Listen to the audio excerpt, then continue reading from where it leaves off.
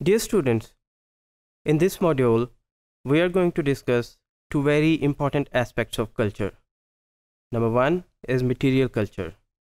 Material culture जैसा कि नाम से ज़ाहिर है कि ये कल्चर का ऐसा एस्पेक्ट होता है जो विजिबल होता है जो पेरेंट होता है जो आपको नज़र आता है विच इज़ वेरी टेंजिबल जिसको आप महसूस कर सकते हैं इसमें आर्ट हो सकता है म्यूज़िक हो सकता है इसमें आर्किटेक्चर हो सकता है आपका लाइफस्टाइल हो सकता है आपका ड्रेसिंग पैटर्न हो सकता है।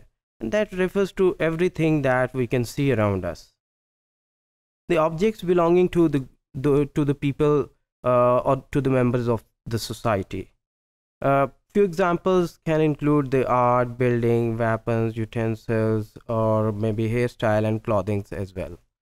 इसका जो इसमें जो ख़ास बात है वो ये है कि जब हम मटेरियल कल्चर की बात करते हैं तो हमारे सामने जो चीज़ें हमें नज़र आती हैं उनके जो स्टाइल्स हैं उनके जो पैटर्न्स हैं वो हिस्टोरिकली वेल डिफाइंड होते हैं और जियोग्राफिकली जो है वो सब्जेक्ट टू चेंज होते हैं।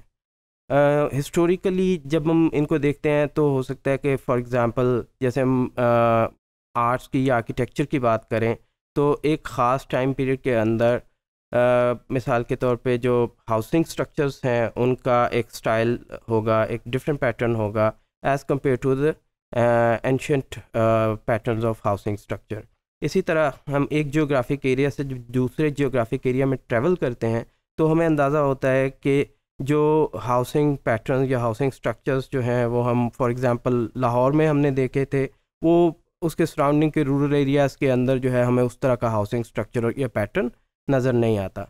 तो मटेरियल कल्चर चूँकि विजिबल होता है इस वजह से ये क्वाइट डिस्टिंग्विशेबल होता है।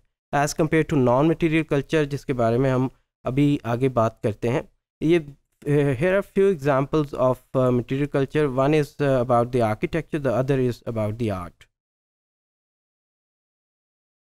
and then the non-material culture it is um, obviously it is not visible it is not tangible but yet it is a very important aspect of our culture. Uh, for example, our ideas, our beliefs, our attitudes.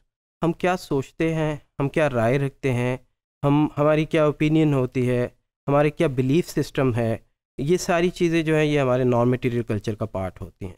लेकिन non material या नज़र ना आने वाली चीज़ों का मतलब हरगिज़ ये नहीं है कि वो हमारे कल्चर का हिस्सा नहीं है। वो डेफ़िनेटली हमारे कल्चर का हिस्सा होती हैं।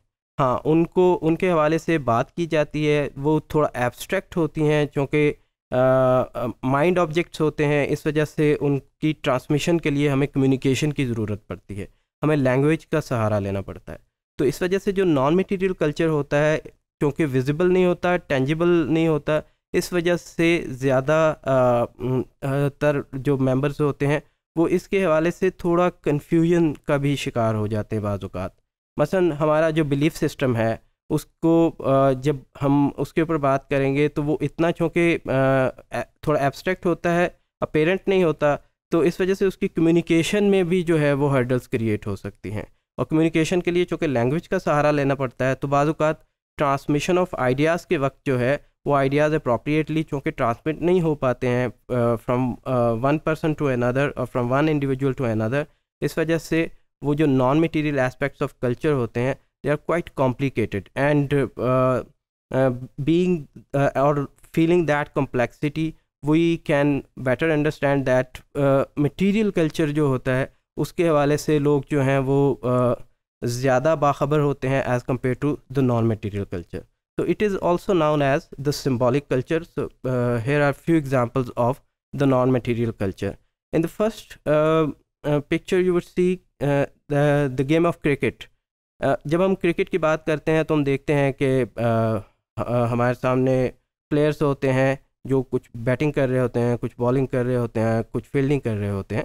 लेकिन इसके साथ साथ जो invisible aspect of that game होता है वो uh, उस गेम के रूल्स होते हैं। तो रूल्स जो हैं दे डिफाइन के how to play that game इसी तरह से सोसाइटी जो है उसके अंदर भी बहुत सी चीज़ें जो हमारे सामने अक्र हो रही होती हैं, उनके पीछे जो चीज़ें कार फरमा होती हैं, उनके पीछे जो चीज़ें अमल कर रही होती हैं, वो सोसाइटी के रूल्स होते हैं, जिनको हम नॉर्म्स, वैल्यूज़ और बिलीफ सिस्टम के तौर पे जानते हैं। So here are few examples of non material culture